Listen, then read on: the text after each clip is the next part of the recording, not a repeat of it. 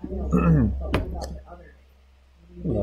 I'm going to show you a quick process of mine to help um, organize your task list into an, kind of an executable, something you can complete.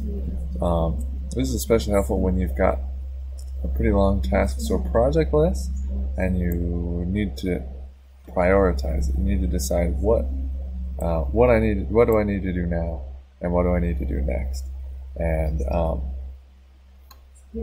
let's dive right in. So we have Asana, and this is where we keep all of our tasks and um, and assignments.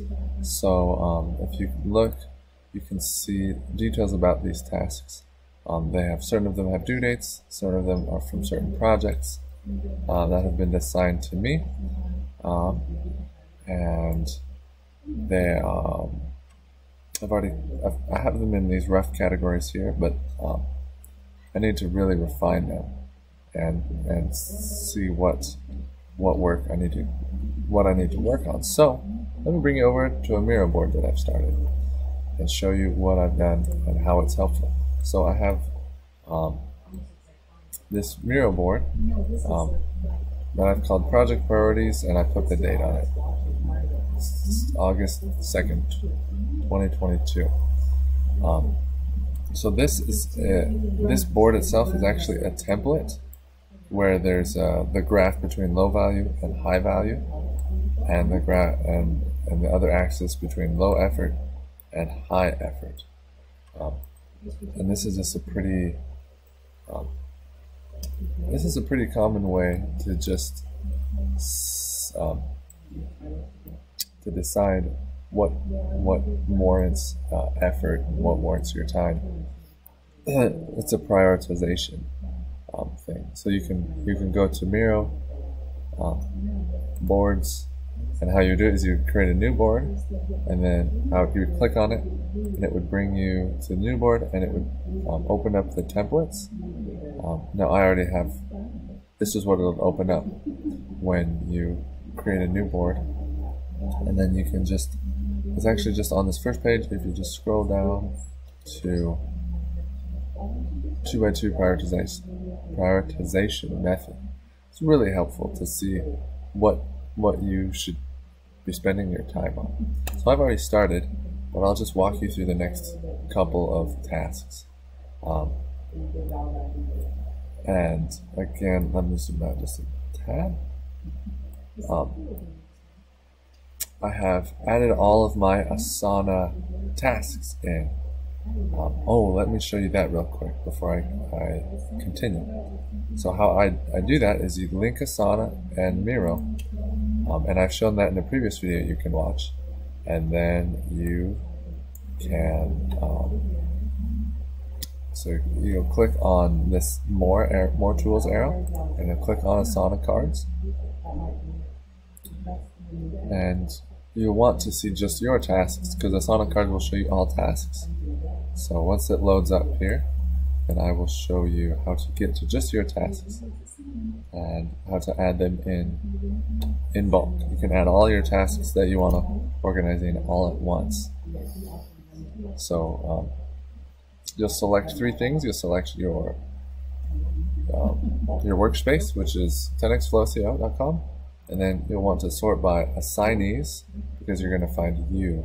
And then you'll you'll sort and then you'll um, find your name. And then it will show you a list of every single task that has been assigned to you um, whether it's been completed or not. So what you have to do here is you have to scroll down and you have to go and check everything that's uncompleted. Uh, and once you've gone ahead and gone all the way down and checked everything that's uncompleted those are all of the things in your task list then you go ahead and click this add. I'm not going to do it since I've already added them, but that's how you do it. Um, so I have several left you can see to prioritize here.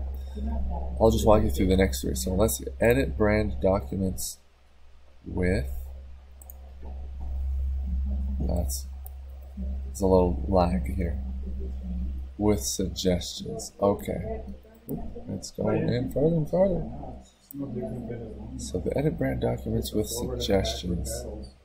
Is that high effort or low effort?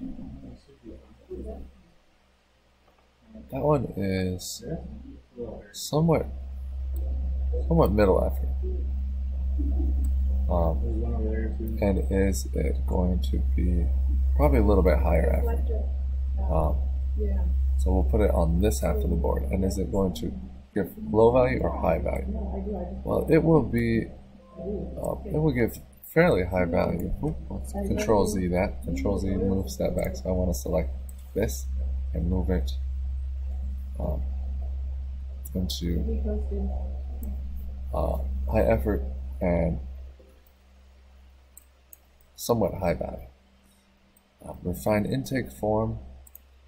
Um, okay, so this is one I'm actually going to set aside for the moment because I've, I've started it and I'm not sure at this point that I, that I need to finish it. So I'll set it aside to work on later.